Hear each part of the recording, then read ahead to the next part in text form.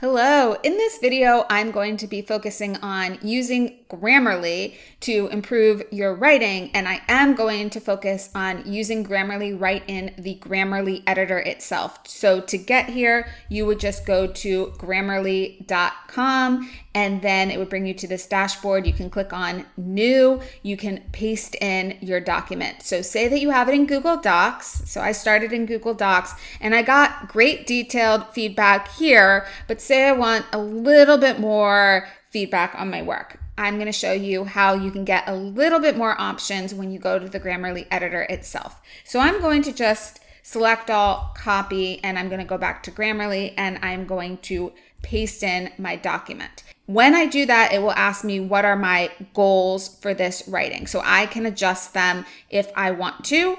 I'm going to press done. I'm not going to change anything. So this is my demo of Grammarly. I'm going to name my document so I can find it easily later. It does allow you to accept all the changes at once here. And I never recommend doing that. It is so important that you go through and you understand what each piece of feedback is telling you and you make a wise decision on whether or not you want to accept the change or not accept the change. Because honestly, not all the changes in Grammarly are things that you want to accept. Sometimes they give you something that you're not going for, or it might not fit your paper, or it might just not sound like you. So it's so important to go step by step. So I'm going to dismiss this all the time. I never use that. Now I would go step by step. So you can just click on the cards over here to open it up and get a little bit more context. So here it's telling me that grown up is missing a hyphen. If I don't understand what exactly that means, I can press learn more and it gives me the definition of what it means and also some examples of incorrect and correct usages of the hyphen and when I would need it. So if I want to make that small again, I can just press on less. If I want to accept that change, I would just click on it right here and it automatically changes it. I can also click on any of the mistakes. So like here, it says very afraid. What is that mistake? I can click on it and it will bring me right to that card. I can learn more about what this means again. I can make it smaller. If that is something I want to accept, I would click on accept to change it. Maybe terrified isn't a word that I would really use and I don't want to use that one. I can just ignore it. I can just leave it there. I can delete it to dismiss it if I don't want to use it. I'm going to dismiss it for right now.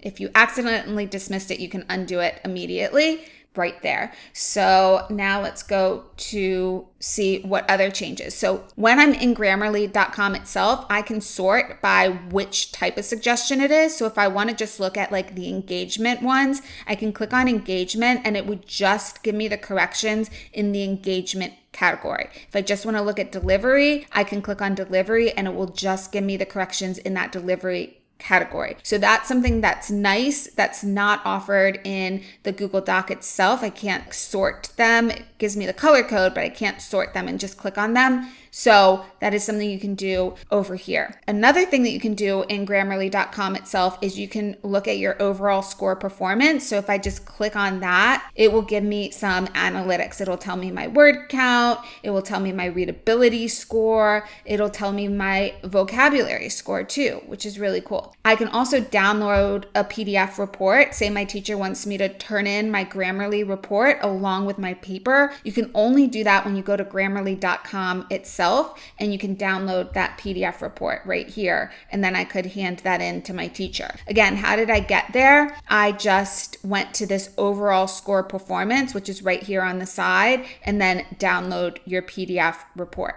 If at any time you want to change any of those goals, like the tone we set or the formality, you can do that by clicking on goals and press done. Another thing that is available in Grammarly.com itself is this plagiarism checker. So if I click on plagiarism, that will do a check against a bunch of different web pages. And I did um, copy and paste this from a web page. So you can see that 8% of your text matches exactly this source. And then if I click on this other one, 92% of your text matches this source. Again, I did copy and paste this from somewhere else entirely. So that's why I'm getting 100% plagiarism. So this is something that you can do to self check and make sure that you're not accidentally plagiarizing anything. So, again, how I got there was down at the bottom, there's this plagiarism check. If you don't see that, and this is only on the premium, so you do need to be on premium in order to use that. Make sure that you're on the premium. All right, the last thing over here is this little menu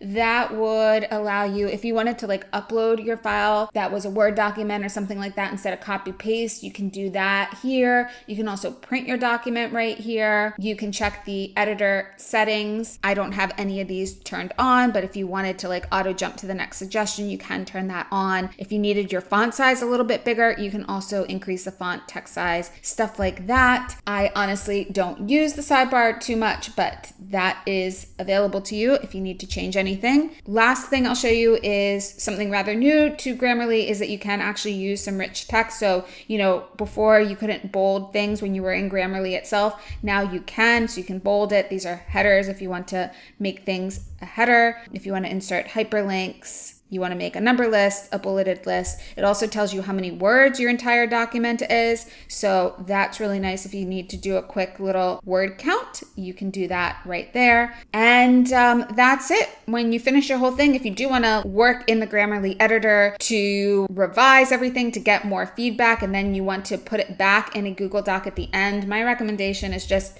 select all. So Command A to select all, and then Command C to copy. Or, of course, you can use Edit here and select all, and then copy, and then go back into your Google Doc, paste it in, and um, that's how I could finalize my document and turn it in. You can also go over here and you could download it if you wanted to download it as a Word document. That is also an option.